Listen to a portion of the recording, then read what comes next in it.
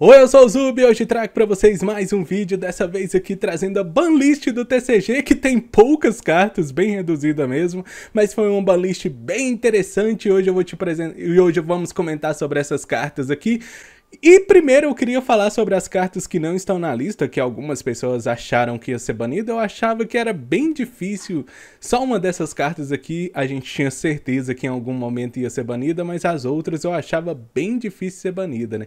Como por exemplo o Calamity, né? O Hot Dragon Synchro 12. Olha que a gente mistura às vezes o CG com o TCG, né? Nem chegou o Centurion aqui no TCG ainda e a galera já queria que ele fosse banido, né? Não tem porquê, ele não tá sendo usado ainda ainda. O Manadio não faz esse combo com facilidade, né? Quem fará esse combo com facilidade é o Centurion, né? Mas o Centurion nem chegou ainda, então não tem sentido banir uma carta que nem chegou.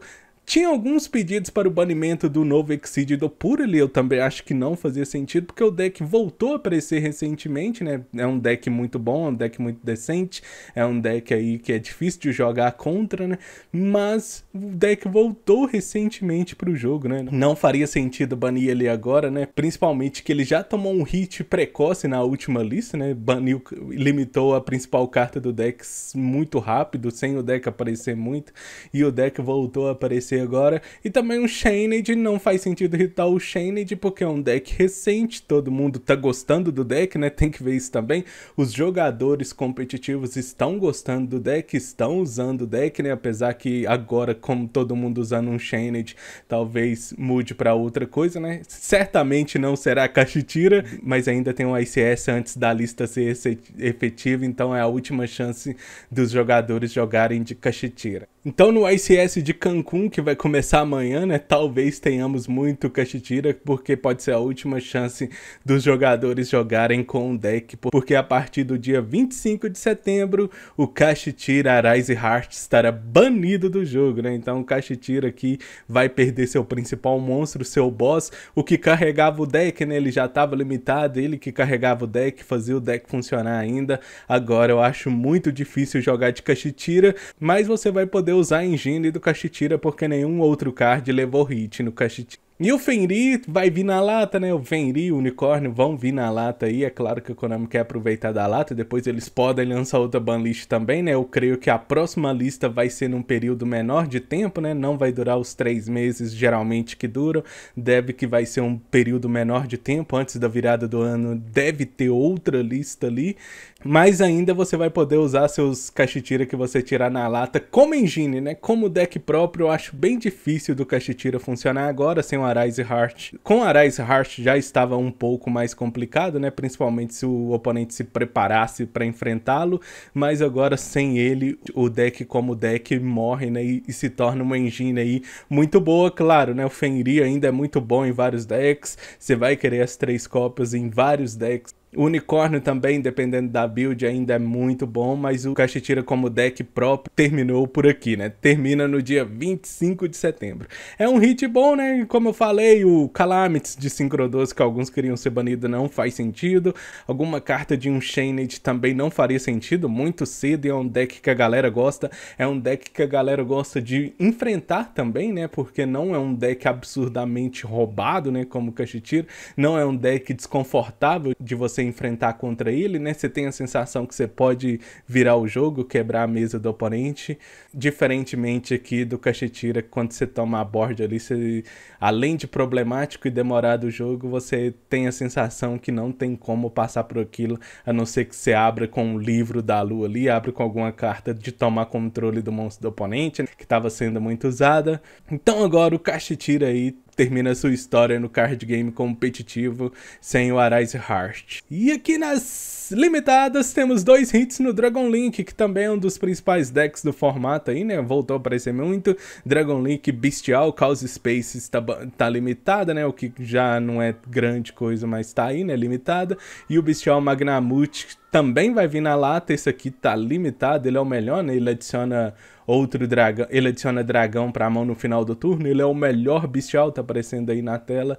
Limitar ele faz sentido, então Bestial Magnamut também está limitado no jogo. Dois hits no Dragon Link, hits que não atrapalham tanto igual a gente gostaria, né? Que Dragon Link sim é um deck mais antigo, né? Mas não faz sentido dar o hit no Lubellion, por exemplo. O Lubellion vai vir na lata agora, apesar que o Magnamute também vai vir na lata, mas o Magnamute veio originalmente como super raro. É que ele era uma super rara cara, mas originalmente ele veio super raro ali, né? É mais fácil dar um hit nele, né? Chaos Space também é uma carta bem antiga, limitou duas cartas aqui importantes para o deck, mas um deck jogável, um deck ainda que a galera vai usar, né? Esse Magnamute aqui vai fazer a galera sentir como tivesse jogando de Dragon Link no Master Duel, né?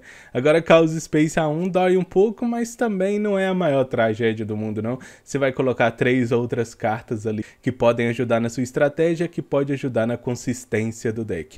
E é difícil irritar Dragon Link, irritar decks de dragão, né? Porque sempre estão recebendo suportes, você não quer matar um deck que você sempre vai vender alguma carta para ele, né? Que é o caso aqui do Dragon Link. E aqui fora da lista, para minha alegria, Herald of Orange Light. Agora sim, meus decks de fada vão melhorar bastante. Deck de, deck de ritual melhora bastante. O Drayton dá uma sobrevida, né? Apesar que ele ainda sofre para quase todas as interações do jogo. Mas Herald of Orange Light é uma carta muito boa para decks de fada, pensando no futuro também. Espero que venha muitos decks de fada aí pro jogo. Essa é a melhor hand trap do jogo jogo para mim. Favorita, é a minha hand trap favorita, né? Porque eu gosto mais de decks do tipo fada ritual, né?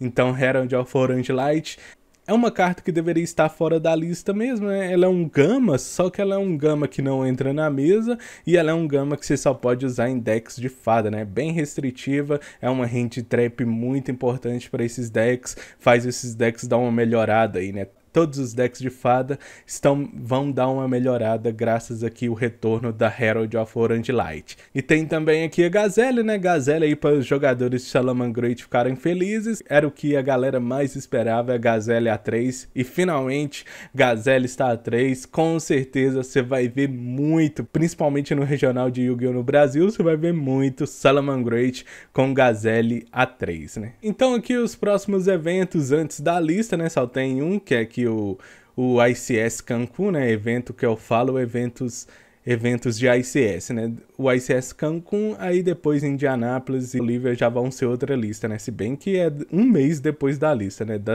dá pra se preparar bastante. Então, o último evento grande com Caxitira vai ser o evento aqui de Cancún, né? E tem um regional também, mas eu acho que o regional daqui do Brasil já é depois da lista, né? Então, último evento para a gente ver Caxitira no grande cenário competitivo vai ser aqui em Cancún, né? Que sem o Arise Heart vai ser bem difícil.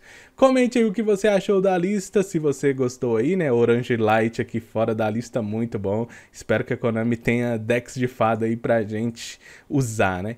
Caxitira Arise Heart banido aí também foi um hit muito forte, muito bom, né? Caxitira já fez sua história no jogo aí e agora já deu, né? Comente aí o que você achou, se você gostou desse vídeo, deixa aí seu gostei, compartilha com seus amigos e grupos. Se você quiser e puder, vire membro do canal e nos ajude a trazer cada vez mais conteúdo como esse.